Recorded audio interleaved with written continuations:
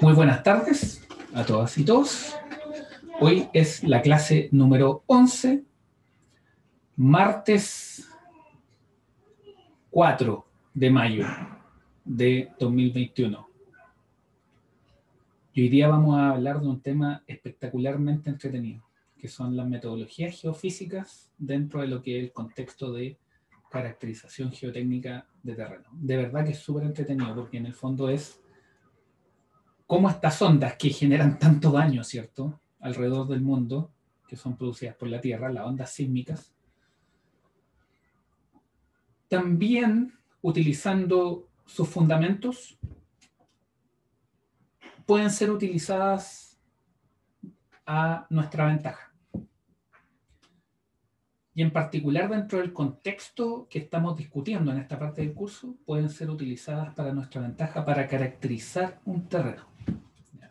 Y cuando hablamos de caracterizar un terreno, hablamos de muchos tipos de caracterización. Nos permite encontrar la roca, nos permite identificar, ¿cierto?, de manera aproximada si en, en qué parte puede existir agua o no. Nos permite identificar los estratos. ¿ya? Y todo eso también a través del uso de diferentes tipos de fuente. Cuando hablo de tipo de fuente es cuál es el tipo de origen que tiene la onda sísmica. Porque estrictamente hablando, cuando usted pone un pie en el terreno, usted genera todo tipo de ondas. ¿Ya? ¿Qué es lo que pasa? Que obviamente cuando usted pisa, esa onda que usted ejerce es de una energía muy pequeña, por lo tanto las ondas se diluyen rápidamente. Pero si usted pone un acelerógrafo cerca de donde usted pisa, esas ondas que se generan por su pisada van a ser detectadas por un equipo. Mientras mejor sea la calidad del equipo, más ustedes van a poder identificar las ondas. Entonces, dentro de ese contexto, quizás lo que nos conviene es partir revisando algunos aspectos de estas ondas. Entonces, ¿de qué vamos a hablar a grandes rasgos? Antes de, empezar con, el, con lo central. Es que las metodologías geofísicas tienen varias, varias aristas, por llamarlo de alguna manera. Ustedes tienen los métodos sísmicos, que son las que usan las ondas, y en esas nos vamos a concentrar principalmente. Pero también hay otras ondas, ¿no? Que son las ondas electromagnéticas, eh, las ondas gravimétricas, que también se utilizan. Dentro del contexto de ingeniería civil las ocupamos poco, ¿ya? Pero sí son importantes hacerlas. Los geotécnicos quizá utilizan más eh, resistividad eléctrica, ¿ya? Métodos gravimétricos son muy utilizados por los geofísicos. Pero nosotros también hacemos uso de eso, pero sin, sin, embargo las que más utilizamos por lejos son las metodologías sísmicas. ¿ya? Entonces, para partir con las metodologías sísmicas en particular, nos conviene partir viendo la anatomía de un terremoto. Ustedes la conocen, ¿cierto? Tenemos el epicentro, que es la proyección de la profundidad donde lo que ocurre un terremoto hacia la superficie. Entonces el epicentro siempre... ¿Aló? ¿Me fui? ¿Me fui yo o se fueron ustedes? Usted, profe. Ah, yo, ok. Ya. eh, pucha, lo lamento. ¿Y en dónde quedaron? En la parte de mm, que usábamos poco las ondas gravimétricas. Ah, perfecto, ya. Eh, ¿Siguen viendo pantalla o tengo que compartir de nuevo? Tengo que compartir. Ya, pucha, qué lástima. Ya. Ya, me parece que ahí estamos, ¿cierto? Ya, entonces. Entonces, metodologías sísmicas son las que lejos ocupamos por eh, de manera más recurrente, más común. Y tengo que, tengo que arreglar algunas cositas porque en caso de que llegue alguien tengo que arreglar el, tema del, del, chat. Y bueno, esta es la belleza de la improvisación en, en los tiempos de, de, tele, de, telecomunicaciones que estamos teniendo hoy día. Ya, entonces eh, tenemos las metodologías sísmicas, las gravimétricas y las de resistividad eléctrica. ¿ya? Por lejos las más utilizadas son las sísmicas, en todo lo que es el contexto geotécnico, de caracterización geotécnica. Pero también ocupamos la gravimétrica. Lo que pasa es que las gravimétricas no siempre van a estar disponibles, ¿ya? O no necesariamente las vamos a necesitar, ¿ya? ¿Por qué? Porque hay otro elemento. Las gravimétricas se ocupan mucho para detectar la roca, ¿ya? Eh, la resistividad eléctrica se relaciona mucho con lo que es el tema de humedad. En cambio, las sísmicas nos permiten tener detalles que son muy importantes, como por ejemplo eh, la detección de la roca. Eh, cuando, cuando tenemos una, una metodología sísmica y la roca está muy profunda, los equipos y la implementación de esa metodología sísmica para detectar la roca a mucha profundidad, ¿ya? puede ser un poco eh, puede hacerlo un poco infactible, puede hacerlo un poco difícil y en ese contexto la gravimetría a veces ayuda. ¿ya? Entonces, eh, también está la resistividad eléctrica y esa, como les decía, tiene que ver mucho con el tema de, eh, para poder identificar cambios de humedad que muchas veces también se asocian a todo lo que es la existencia de una napa. Sin embargo, con las metodologías sísmicas también ese tipo de información se puede identificar. Ahora, ¿qué es lo que pasa? En el contexto que hemos venido conversando, ¿cierto? A lo largo del semestre para nosotros, y esto también dado un poco por la norma, es muy importante los primeros 30 metros. Entonces, en ese, en ese contexto, el tema de la caracterización geotécnica a través del uso de metodologías sísmicas se vuelve bastante importante. ¿ya? Entonces, íbamos a partir con todo lo que son las metodologías sísmicas. Entonces, para eso démosle un poquito de contexto a esto y vayamos viendo por qué la onda sísmica. Las ondas sísmicas ustedes tienen que se producen cuando ocurre un terremoto. Son, que las ondas sísmicas son ondas mecánicas que se propagan a través de un material, ¿cierto? Y las, cuando uno, un material en general tiene un cuerpo y tiene una superficie. Por lo tanto, así, en ese, en ese contexto, cuando ocurre un terremoto, cuando la roca se rompe kilómetros de profundidad abajo, ¿ya? lo que ocurre es que existe un foco que se rompe primero, a partir del cual eh, la, placa que se, la placa que se rompe, el contacto que se rompe, ¿cierto? A partir de ese punto esto empieza a propagarse y se puede propagar unas, unas distancias gigantescas. Consideremos que en el terremoto de 1960, cuando esto ocurrió en Valdivia, la falla que se produjo quebró el continente en una distancia de mil kilómetros. Es un montón, ¿no? Para el 8.8 que tuvimos el, 2000, el 2010, eh, la fractura del continente fue del orden de los 500 kilómetros. Y ese dato es importante, por supuesto, porque cuando ocurre un terremoto, el tamaño de la fractura va en, eh, se proporciona, por decirlo de alguna manera, con eh, el tamaño de la fractura. ¿ya? Entonces, magnitud y tamaño de fractura van bastante de la mano. El año 2016, eh, por ejemplo, hubo un terremoto en, Ecuador que fue de magnitud 7,8. Un 7,8 nosotros lo hemos tenido. El 7,8 fue un terremoto muy similar a lo que ocurrió en Valparaíso el año 1985. Y ahí la falla debe haber sido de unos 200 kilómetros. Entonces, como ustedes pueden ver, ¿cierto? De 7,8, de 200 kilómetros, 150 kilómetros de ruptura, pasamos a un 8,8 que tiene unos 500 kilómetros de ruptura. Sin embargo, cuando tenemos un 9,5, ¿ya? como el de Valdivia en 1960, tenemos un, un tamaño de ruptura de 1000 kilómetros. Y ahí, obviamente, nosotros podemos desprender de que la energía, ¿cierto? no es lineal con el tamaño de la fractura. ¿ya? Pero sí podemos decir que a mayor magnitud el tamaño de la fractura sí crece. ¿ya? Lo que pasa es que esa dependencia obviamente no es lineal, porque hay un tema de energía involucrado. ¿ya? Entonces es súper importante contextualizar eso. Ahora, cuando el terremoto se rompe y nosotros estamos en el punto de fractura bajo inicial, ahí ese punto que se le llama focus es lo que nosotros conocemos como hipocentro. Y está asociado a una profundidad. El hipocentro ocurrió a tal profundidad, La proyección de ese punto en la superficie, ¿ya? nosotros aquí ya tenemos el hipocentro, ¿cierto? La proyección de esa superficie en la superficie del hipocentro en la superficie es lo que nosotros llamamos hipocentro, ¿ya?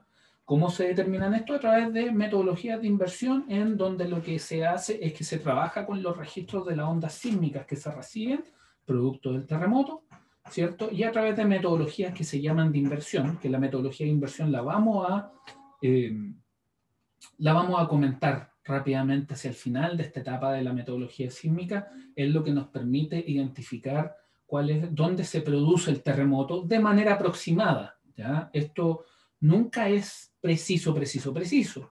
¿ya? Tiene un orden de error, ¿ya? tiene un error asociado y obviamente cuando hablamos de error también hablamos de un intervalo, ¿cierto?, de, de confianza. ¿ya? Eh, todo es un tema estadístico. los sismólogos y todas las personas que trabajan con ondas tienen que trabajar con estadística, ¿ya? porque considere que cuando tenemos un terremoto, ¿sí? tenemos muchos sensores, ¿ya? estos sensores reciben señales de manera continua. ¿ya? Y así como llega un sensor a, esta, a este lugar también, perdón, como así como llega una onda sísmica a este lugar, llega a los diferentes lugares donde están los sismos. Entonces, ¿qué es lo que pasa? Hay que hacer análisis de señales, que se le llama, que es un tema entretenidísimo, ¿ya? Hacer análisis de señales y que se ocupa, por supuesto, en todo lo que es caracterización geofísica. ¿Y por qué? Porque de alguna manera uno puede interpretar que la las velocidades de onda que tienen, que presentan los cuerpos, son una especie de firma del cuerpo, ¿ya? Eh, de estos cuerpos a los cuales se, trabaja, se, se, propagan las ondas. Por ejemplo, si usted tiene una velocidad de onda de corte de 300 metros por segundo, usted le costaría creer que ese valor correspondería a una roca.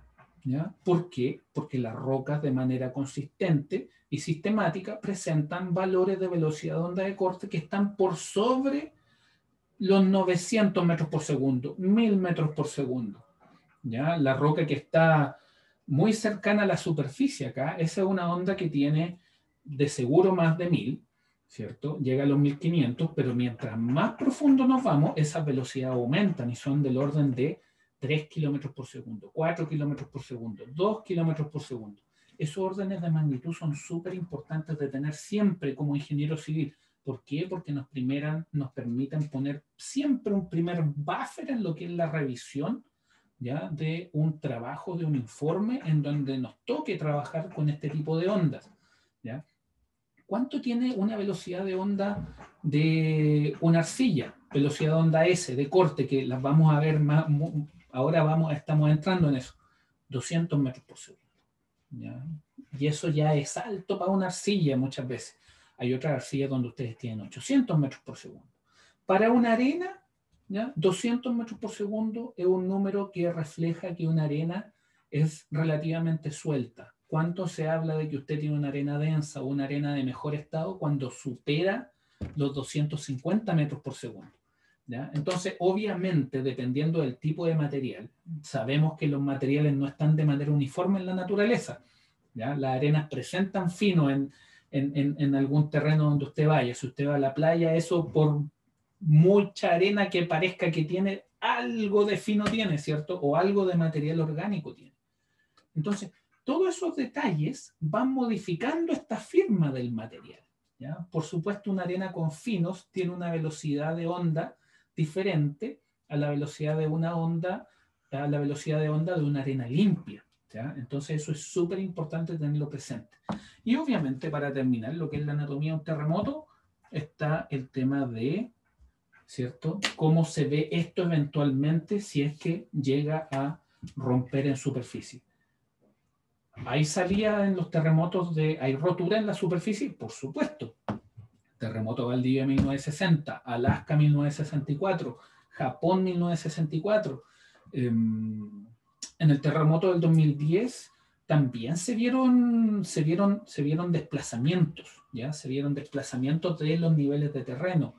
y así hay varios lugares, hay, hay, hay, muchos lugares en los cuales ha ocurrido que se produce rompimiento del terreno en superficie. ¿Ya? Ahora, eso también puede pasar por otros efectos, no necesariamente por el movimiento de las, de las placas, puede pasar por el fenómeno de liquefacción, por ejemplo, que es por lejos el evento, el fenómeno más devastador que puede ocurrir en la superficie cuando hay un terremoto y que se produce en arenas sueltas, en arenas que tanto limpias como con finos que están en un estado suelto y muy y saturado. ¿ya? Eh, altos niveles de saturación también, podríamos decirlo de alguna manera. Entonces, con todo este contexto, ¿cuáles son las ondas sísmicas? Las ondas sísmicas son las que ustedes ven acá en esta figura, ¿no? ¿Ustedes qué es lo que ven? Ven que las ondas P son de compresión. Son, las ondas P ¿ya? están asociadas ¿ya? a velocidad de onda P. ¿Y qué significa esto? Al ser de compresión, ¿ya? Al ser de compresión, en el fondo están dentro de un contexto isotrópico. estas ondas no hacen cambiar de forma, solo hacen cambiar de volumen. Las ondas S son perpendiculares a la onda P. La onda S está aquí, esa es la P, ¿cierto? Esta es la onda S. Y ustedes lo que ven es que la onda S se propaga, ¿cierto? Con un movimiento perpendicular al que tiene la onda P. ¿Ya? Y estas dos, la onda P y la onda S, son las que se llaman ondas de cuerpo. ¿ya? ¿Y por qué? Porque son las que viajan a través del el cuerpo. ¿ya? Es así de, de, directo. Ahora, ¿qué es lo que pasa? Cuando una onda, ¿ya? Cuando una onda se, eh, se encuentra, una onda de cuerpo que pasa por un cuerpo y se encuentra con una superficie, ¿ya? Estas ondas se descomponen. ¿ya? La onda P y la onda S se descomponen de una manera tal que se combinan, ¿ya? Y en esta superficie lo que generan son las ondas Rayleigh y las ondas Love, ¿ya? Ahora, ustedes lo que pueden ver ahí es que son muy similares a cómo se eh, a, la onda S, pero con la diferencia que estas van en superficie. ¿ya? Mientras la, onda, la onda de Raleigh va así, como culebreando, ¿ya? En la vertical, la onda Love también va culebreando en la vertical, pero más parecido a una serpiente, va en la perpendicular, ¿ya? Va haciendo ese movimiento. Ahora, de estas ondas, de estas cuatro ondas, ¿cuáles son las que más se utilizan? Las que más se utilizan son la onda P, la onda S y la onda Rayleigh. ¿Se utiliza la onda Love? Sí, por supuesto, pero considere que la onda Love está muy relacionada también con la Rayleigh, ¿ya? Las dos provienen de la descomposición de la onda S. Entonces, ¿qué es lo que sucede? ¿Ya? Que en la práctica, muchas de las metodologías con que nosotros vamos a estar estudiando trabajan principalmente con la onda Rayleigh, y a partir de la onda Rayleigh lo que se hace es determinar la onda S. Súper importante eso. Entonces, en ese contexto, y sabiendo que las velocidades de onda son la firma de un terreno, por así decirlo, ¿ya? son la firma del tipo de material que hay en un terreno, lo que vamos a hacer es que vamos a trabajar con algunos ensayos. Y en este contexto, el primer ensayo que aparece es el ensayo que se llama ensayo del tipo downhole. ¿Cuál es la gracia del ensayo de tipo downhole? Que lo que vamos a hacer es que lo primero que vamos a hacer es que vamos a necesitar una perforación. Vamos a necesitar una perforación.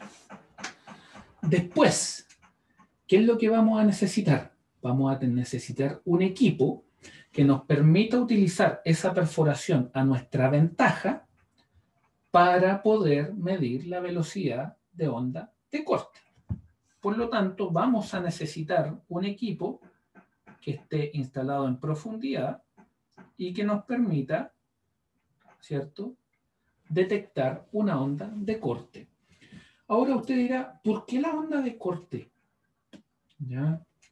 que una pregunta, es una pregunta muy válida. ¿Por qué no la onda P? considere el fundamento. Cuando nosotros tenemos una onda P, la onda P solamente genera cambio de volumen, ¿cierto? Si lo ponemos en un contexto geotécnico, lo que genera cambio de volumen es el proceso de consolidación. ¿Importantísimo? Sí, por supuesto. Sin embargo, en un contexto más general, los ingenieros estructurales, los ingenieros geotécnicos y todos los ingenieros que trabajan con elementos sólidos, entienda elementos sólidos, el hormigón, eh, el acero, los suelos, u otro material que haya, que también esto involucra a los ingenieros mecánicos, por ejemplo, aquellos que trabajan en materiales, trabajan con deformaciones de corte. Por lo tanto, usted lo que necesita es el módulo de corte. El módulo de corte, ¿cierto? Está asociado con el módulo de formación, que si uno va al espacio de los sólidos se conoce como el módulo de Young. Entonces, cuando uno trabaja con materiales sólidos, con materiales sólidos,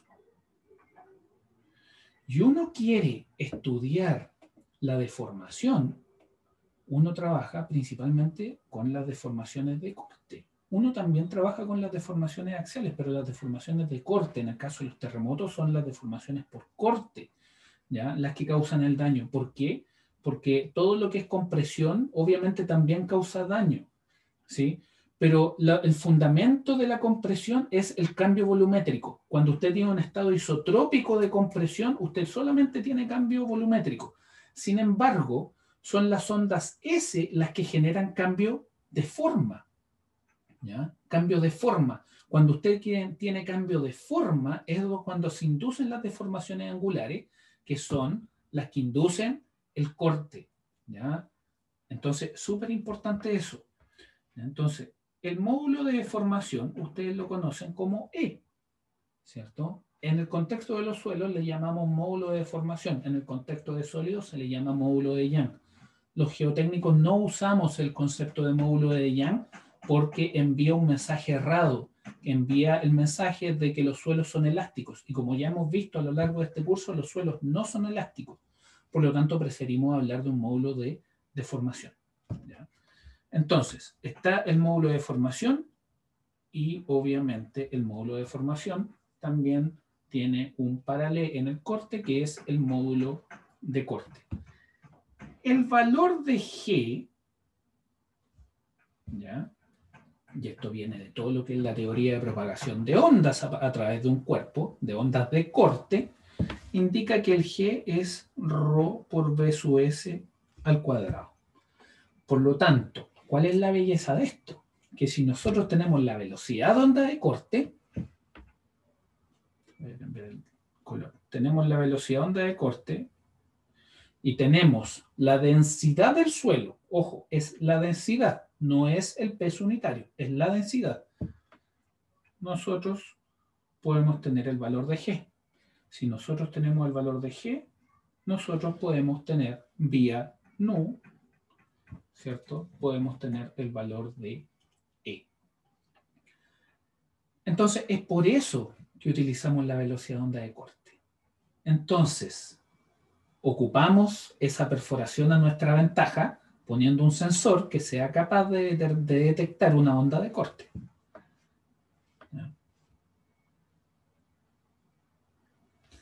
Usted tiene ahí su sensor y obviamente lo tiene que poner a una profundidad H que usted conozca. ¿Cierto? Entonces, ¿qué es lo que usted hace? Obviamente ese sensor es un sensor que hoy en día ya es un sensor de alta tecnología. Generalmente son triaxiales, son sensores triaxiales. ¿Qué significa un sensor triaxial? Que puede medir en X, en Y y en Z.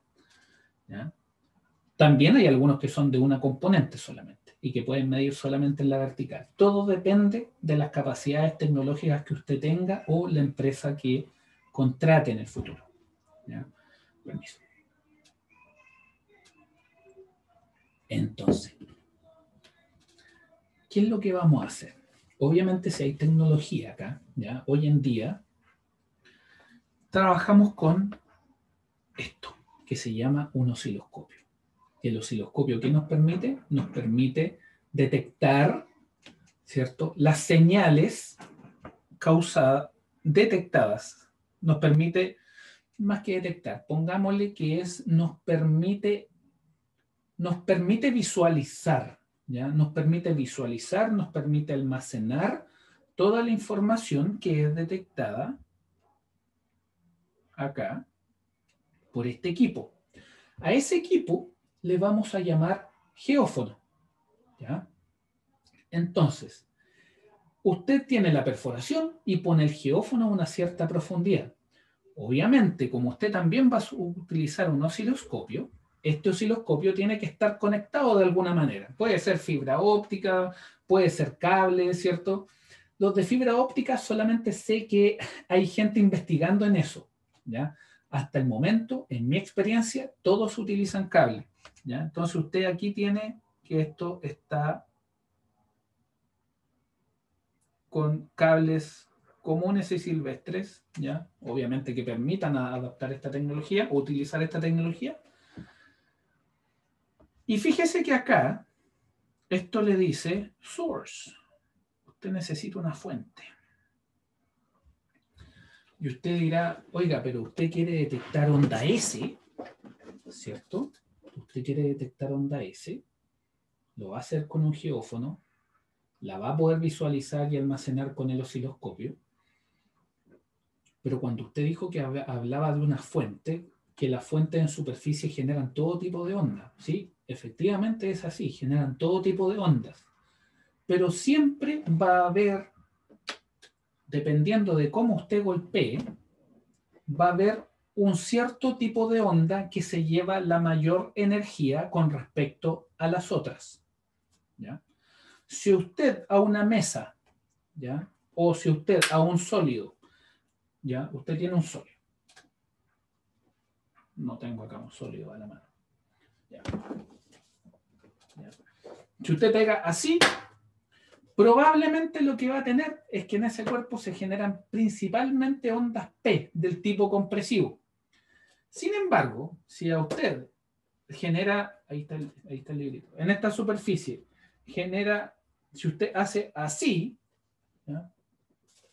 y genera una distorsión, probablemente las ondas que va a recibir en mayor cantidad van a ser las ondas S, ondas de corte. Entonces, ¿cuál es la clave acá? Y es por eso que ahí el martillito está puesto en una disposición muy específica. Considere que el martillito, aquí le muestro una plaquita, una plaquita, y que esa plaquita tiene estos dientes acá. Y lo que hace con el martillo es que le pega de manera horizontal. ¿Para qué? Para que transmita, para que el efecto que se transmite a través de la placa hacia el suelo, producto de la existencia de estos dientes, es que esto sea una onda del tipo S. Si usted le pega con el martillo en esta dirección, usted en la dirección vertical a la plequita, usted lo que va a hacer es que va a inducir una reacción tal en el suelo que lo que principalmente se va a propagar va a ser una onda P. Entonces, es clave la manera en que usted le pega a esa plaqueta. Ahí usted dice, bueno, tiene que ser un martillo. Eso ya tiene que ver con lo que es el tamaño de la fuente. ¿Ya? Y puede tener usted muchas fuentes. Usted puede tener, por ejemplo, un, eh, un martillo pequeño. Sin embargo, el martillo pequeño le va a servir en un pavimento. ¿Y por qué? Por ejemplo, un pavimento tiene este espesor, ¿no? Ahí está.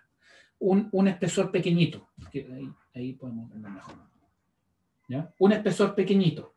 Entonces, ¿qué es lo que pasa? Que cuando usted tiene un, martillito, el martillito es una fuente de energía baja. Por lo tanto, las ondas que se bajan a generar tienen eh, energía baja y por lo tanto frecuencias muy altas, ¿ya? Pequeñas amplitudes. Por lo tanto, eso le sirve para un, eh, para un pavimento, ¿ya? Sin embargo, si usted quiere caracterizar un terreno significativamente grande, eh, por ejemplo, quiere caracterizar 40 metros de profundidad hacia abajo. Quiere caracterizar 30. Ahí usted lo que necesita es un mazote. Un mazote. Y necesita que alguien le pegue con mucha fuerza. ¿ya? Y obviamente va a necesitar, dependiendo de las características que usted requiera, va a, tener, va a necesitar los geófonos en distinta ubicación. En el contexto que estamos hablando acá, si usted le pega horizontal va a generar onda S, si usted le pega vertical va a generar onda P pero en el contexto que el geófono está acá en profundidad. ¿ya? Y eso es súper importante de... No entiendo por qué no está rayando. Ahí sí. Geófono en profundidad.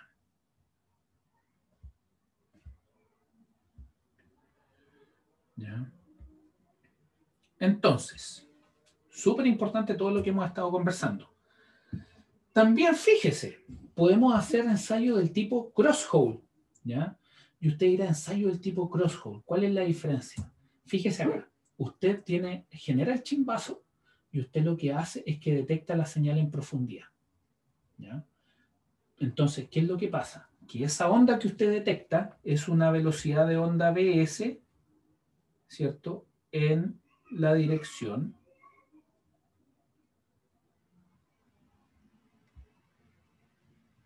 vertical. Cuando usted tiene un crosshole, fíjese acá lo que dice. Aquí dice que acá está la fuente, acá está el receptor y acá hay otro receptor. Usted ya necesita un número de perforaciones significativamente mayor y solamente por el hecho de que usted tiene, una perfora, tiene tres perforaciones en vez de una, ya esta metodología es más cara. Al menos por sondaje, usted ahí ya está a, a pérdida con respecto a la otra porque usted, ¿cierto? está haciendo tres perforaciones. Entonces, usted pone, tiene las tres perforaciones, pone los receptores, ¿ya?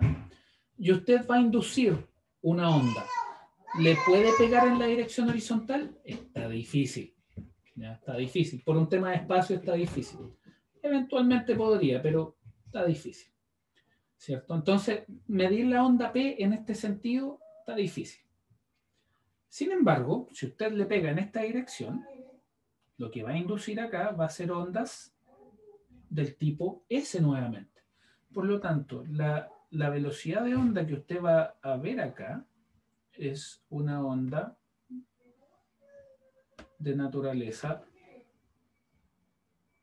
horizontal, PS horizontal. ¿Por qué querría usted determinar el BS horizontal si ya lo tiene vertical.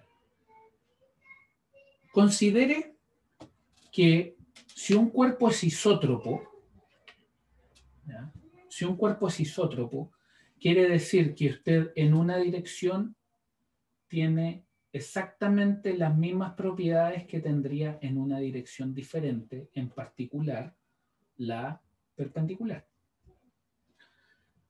Por lo tanto, si para usted en el terreno es importante la componente horizontal, ya sea porque la estructura que usted va a tener va a tener un comportamiento en esa dirección significativo, o para usted es fundamental evaluar qué es lo que pasa con la anisotropía, ahí le conviene hacer un ensayo del tipo crosshole.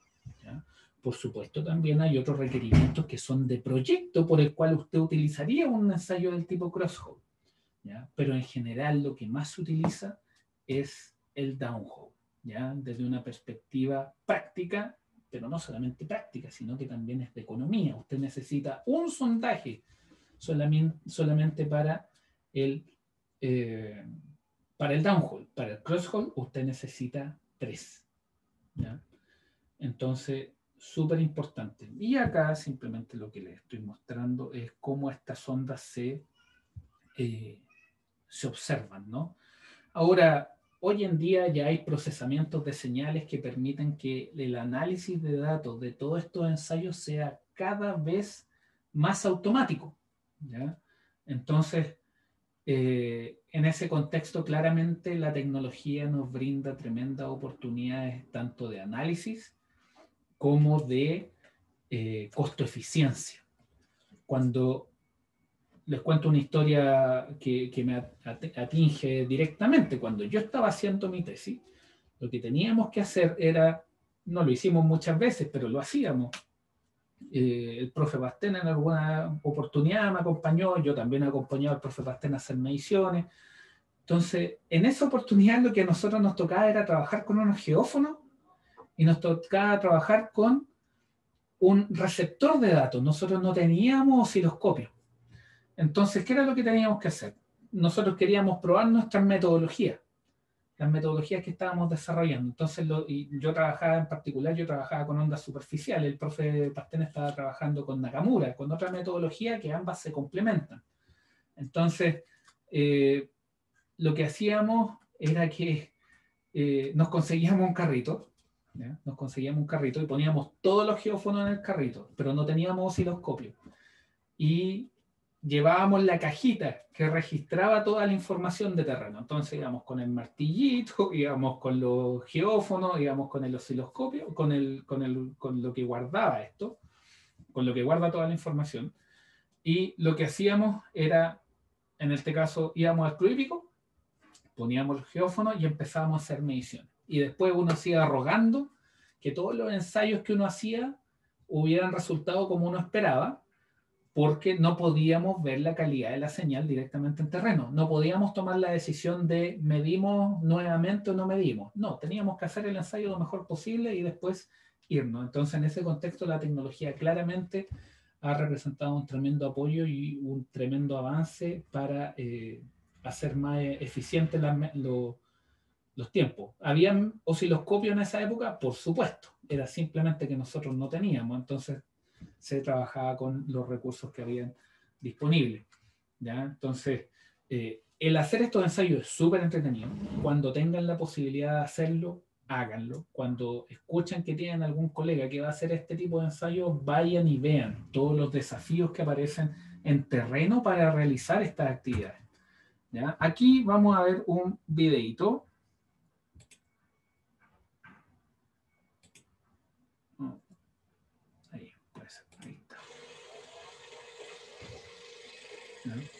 Ahí si ustedes se fijan, ellos están con el computador.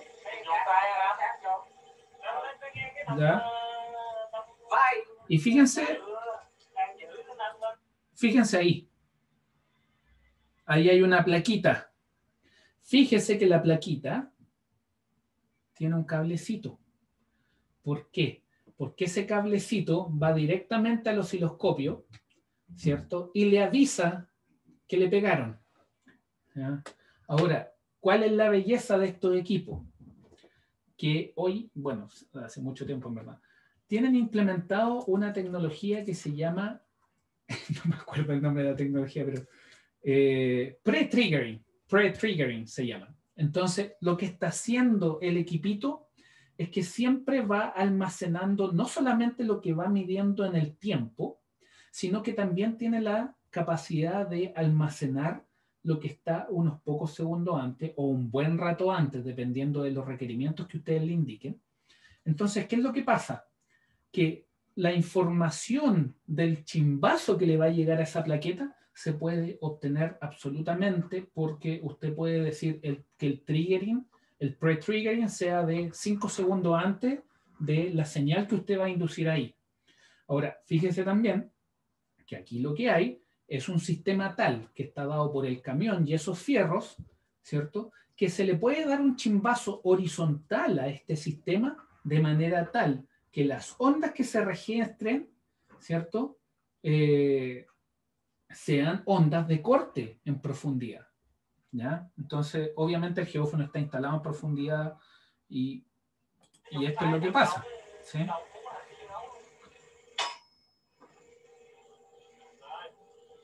Y ahí en el computador usted puede ver directamente qué es lo que obtiene. Ahí claramente le están diciendo que tiene que repetir el chimbazo porque parece que no salió muy bien.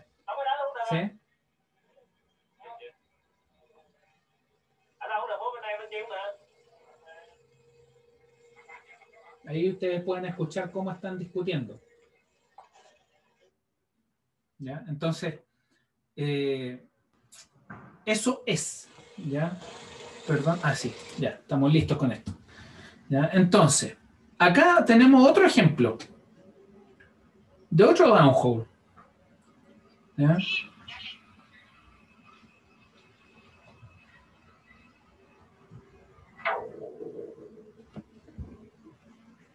Y fíjense que la física es diferente. ¿Qué fue lo que se hizo ahí? Ahí se utilizó una especie de explosivo, por así llamarlo, ¿ya? De mayor energía, quizás necesitan medir a mayor profundidad, ¿ya? Entonces, ese tipo de cosas, ese tipo de cosas son los desafíos que aparecen en terreno. Obviamente, las medidas de seguridad para implementar un chimbazo con explosivo Ahora, ese un explosivo debe ser un detonante muy pequeño, quizás un balín, puede ser, no sé. Ya no tengo los detalles del ensayo, pero es la física lo importante. Dependiendo del tipo de fuente que usted haga, ¿ya? es el tipo de señal que usted va a recibir. Entonces tenemos eso. Eh, también tenemos método geofísico y refracción sísmica, este otro que se ocupa mucho. ¿Ya? Usted dirá, bueno, eso lo podemos ver hacia más al final, pero al final de la sesión de hoy, pero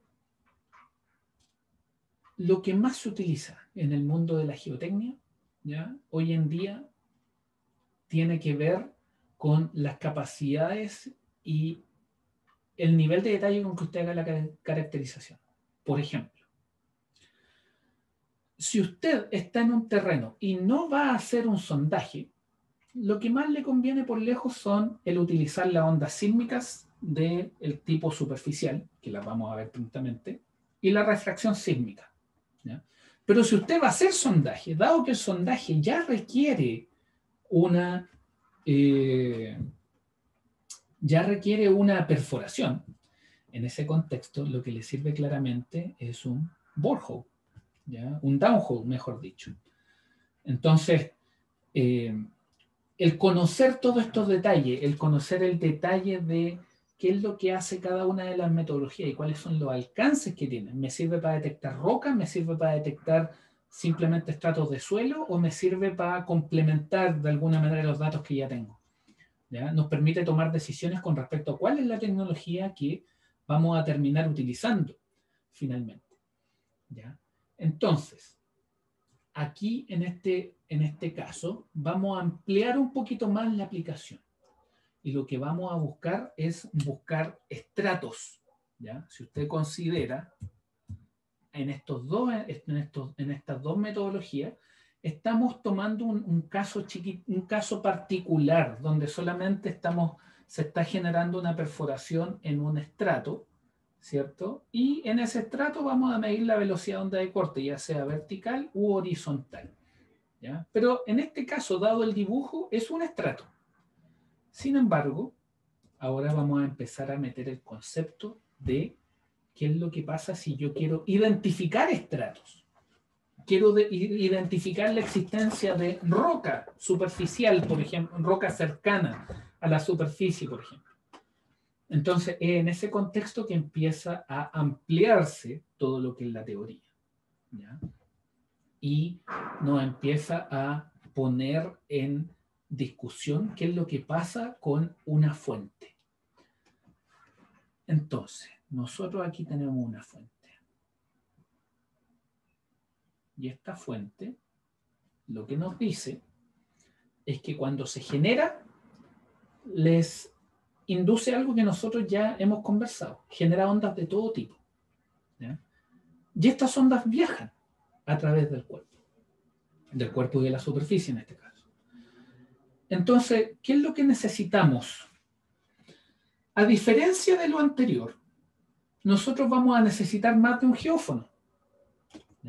¿Y por qué más de un geófono? Porque tener más geófonos lo que nos implica es que podemos tener más distribución espacial de estos equipos, lo que nos permite tener extensiones en superficie que son más amplias y al tener eh, superficies en extensión más amplias, lo que tenemos de alguna lo que vamos a lograr de alguna manera es ser capaces de identificar qué es lo que pasa con esa estructura en profundidades más amplias.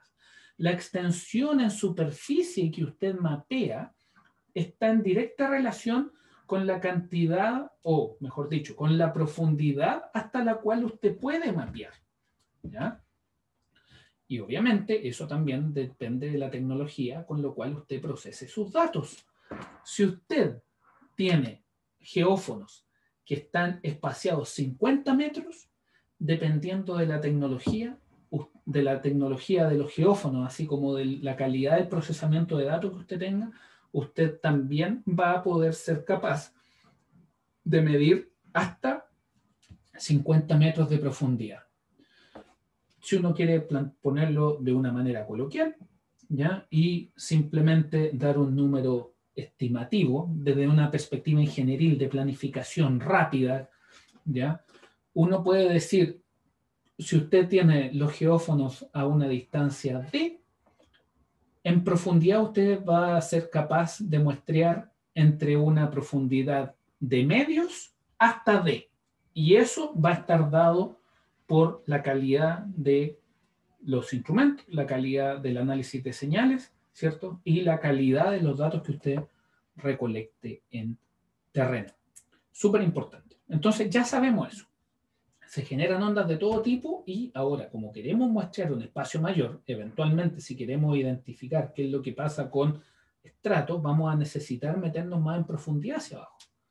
Entonces, cuando tengamos esta onda, cuando tengamos la, la generación de esta onda producto de la fuente, vamos a tener ondas viajando en esta dirección, que las vamos a querer detectar. ¿Ya? Y esa se le va a llamar la onda directa. ¿Ya? Fíjese acá, usted utiliza geófonos, los pone en superficie, idealmente todos espaciados a, una a la misma distancia y que la fuente y, y que la distancia entre la fuente y el primer geófono también sea la misma distancia. ¿Eso está en piedra? No, pero claramente le ayuda a ordenarse desde una perspectiva de metodología en terreno. ¿ya? Ahora, obviamente, cuando ustedes van a hacer esto, ustedes lo hacen de una manera tal que todo quede muy bien registrado. Ustedes cuando van a terreno no quieren perder, no quieren perder ningún dato. Todo lo van a necesitar para poder interpretar correctamente sus datos, ¿ya? la información que ustedes recolectan. Entonces, ustedes tienen ahí la primera onda D. ¿sí? Ustedes también van a tener otra onda generada que va a viajar en profundidad hasta que se encuentre con un cambio de material. Y ustedes por la ley de Snell, ¿cierto? Ustedes saben que cuando una onda se encuentra con una diferencia de materiales o de medios, ¿sí? Ustedes tienen una onda que se refleja, perdón, que se refleja que se transmite y que se puede refractar también. ¿Ya? Entonces, con, ese, con eso en mente, es que también vamos a desarrollar esto. Por lo tanto, esta onda que llega acá, vamos a decir que se refleja. ¿Ya? Y ese es, el rayo reflejado, la onda reflejada. Y ustedes también saben acá que el ángulo con que se refleja es el mismo que con que llega. ¿Ya? Y vamos a tener otra onda acá. Que al tocar el medio material va a viajar por la intersección entre este medio material ¿ya? y que eventualmente va a terminar saliendo a la superficie y, dado que tenemos un tren de onda de infinitas ondas, o muchas ondas, por darle, para darle un número, o para darle una concepción finita A, la existencia de la onda, ¿ya? ustedes van a tener esta onda que viaja, que viaja por la interfaz y que se devuelve. ¿Sí? Entonces, esos son los dos principios que controlan todo lo que es la transmisión de ondas cuando usted trabaja con esta metodología de refracción sísmica. La metodología de refracción sísmica es bastante buena, pero claramente también tiene alguna limitante. La refracción sísmica trabaja en, un campo de frecuencias que es bastante más alto. ¿ya? Entonces, eh, ¿qué es lo que pasa muchas veces con la refracción sísmica? Que dependiendo del equipo usted no puede observar ¿cierto? El detalle de todas las capas que hay. Y, por es por eso que cuando ustedes hablan de refracción sísmica se asocia mucho a lo que es la detección de la roca.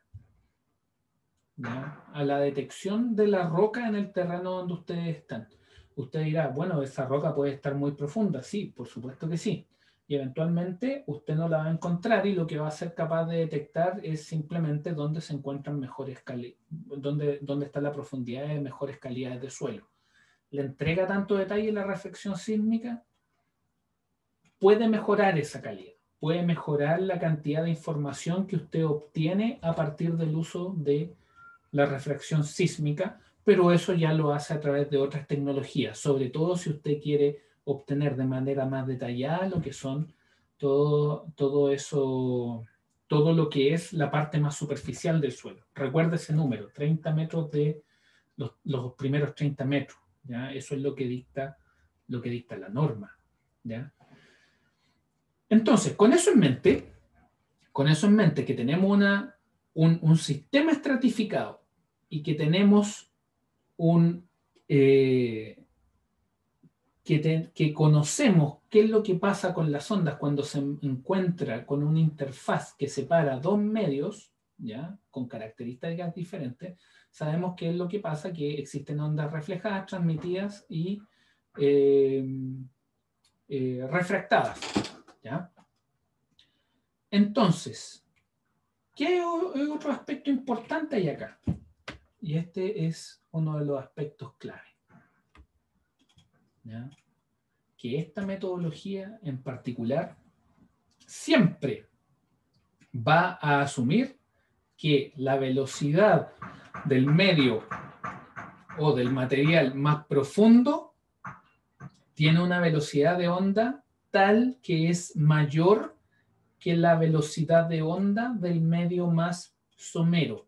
O sea, esta restricción que ustedes ven acá es extensible a más capas. ¿Ya? Y eso es súper importante. ¿Por qué? Porque es un supuesto sumamente fuerte de muchas de las metodologías geofísicas o sísmicas que estamos viendo. Y es esa, que la velocidad de onda siempre aumenta en profundidad. ¿ya?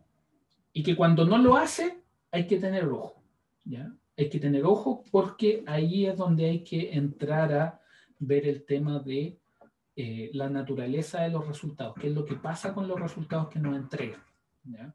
Por ejemplo, y eso pasa, eso pasa en la práctica de la ingeniería, que usted tenga resultados en los cuales usted, suponga que usted ve que a partir del sondaje, usted encuentra que los primeros metros son grava y que después los metros más profundos indica de que usted tiene arena o indica arcilla. Pero usted ve que la geofísica le dice que la velocidad de onda de corte aumenta en profundidad. Eso está mal. ¿Y quién manda ahí? Claramente manda el sondaje. El sondaje es el que está conversando. Entonces, si usted tiene, una, si usted tiene grava, la velocidad de onda de la grava siempre, bueno, no, sé si siempre la palabra, eso es ser un poquito eh, un poquito muy estricto, pero es muy raro, es muy raro, sería muy raro ver una grava que tenga menor velocidad de onda de corte que una arcilla o una arena. ¿Ya? Yo le diría nunca, pero quizás eso es demasiado cerrado.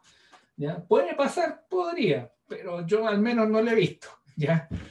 Entonces, eh, es, por eso que es importante tener ese tipo de ese tipo de, situaciones. ¿Y por qué? Porque si la, caracterización geofísica le dice que la velocidad de corte aumenta en profundidad, y usted tiene una grava, algo, usted tiene que hacer algo, ¿no? Usted tiene que hacer algo para que el sondaje converse con la geofísica que está haciendo y tiene que contactar a la empresa y decirle, oye, tu resultado aquí algo tiene. Algo tienen, porque esta velocidad de onda de corte que se ven acá no reflejan lo que hay en terreno.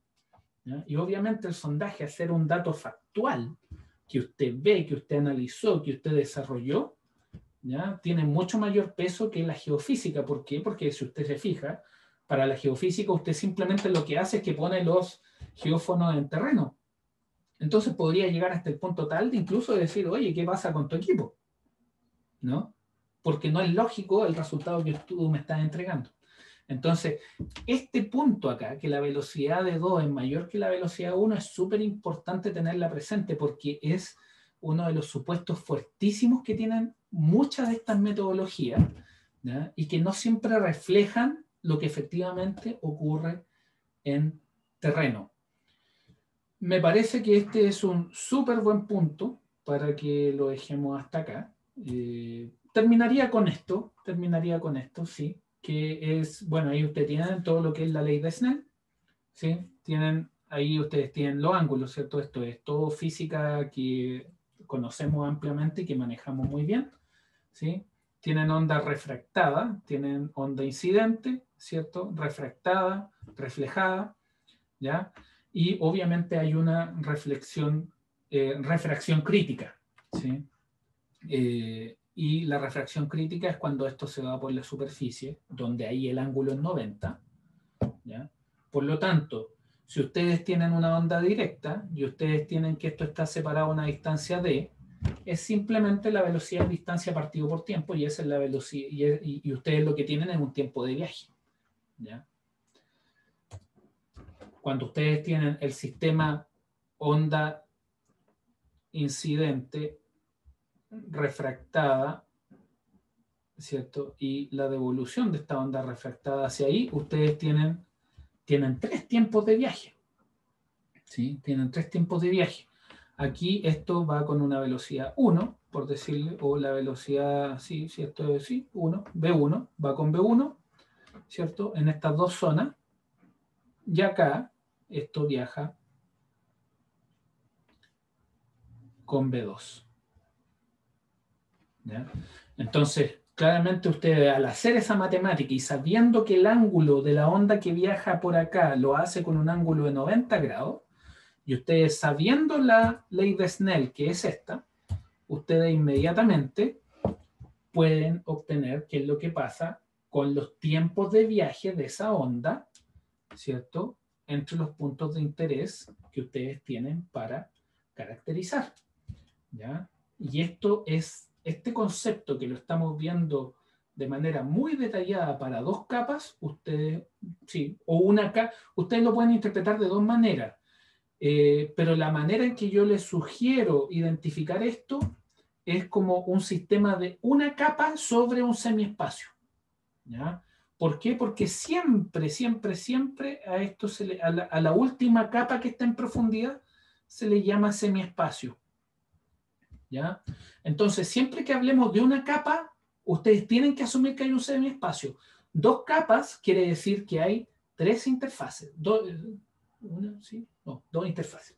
¿ya? Entonces está la primera capa, la segunda capa, semiespacio. ¿ya? Entonces, súper importante tener esa nomenclatura para que no hayan enredos, porque si muchas veces la gente interpreta dos capas como una capa y un semiespacio. No, un sistema de dos capas es dos capas y un semiespacio. Entonces, súper importante tener eso y lo menciono antes porque es importante que tengamos esa convención para nosotros. Otras personas pueden trabajar con otras convenciones, pero en general, al menos lo que trabajamos en este curso es ser muy explícito en eso. O sea, es una capa sobre semiespacio, dos capas sobre semiespacio, pero siempre entendiendo que abajo, ya esto está acotado por un semiespacio que generalmente se interpreta como roca. Y me parece que esto es un muy buen punto ahora sí para terminar. Le agradezco mucho su, su presencia el día de hoy. Si no hay más dudas, consultas con respecto a lo que estamos viendo hoy día, me despido, que estén muy bien. y nos vemos el jueves para el control.